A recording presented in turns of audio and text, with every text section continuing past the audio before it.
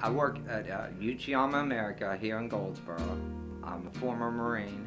My wife works at uh, Small World Daycare Center, and my son, he works at a small place called Bonfires, and he's in a band.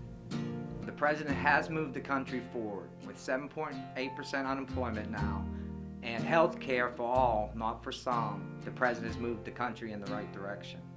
He saved a car company, and I work at a manufacturer for gaskets for automobiles.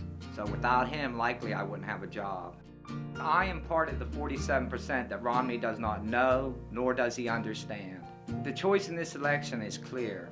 You can choose President Obama, who is fighting for the people, or you can choose Romney, who believes profit over people. My name is David Arnold. I'm from Goldsboro, North Carolina, and I proudly support President Obama. Local Voices is responsible for the content of this advertising.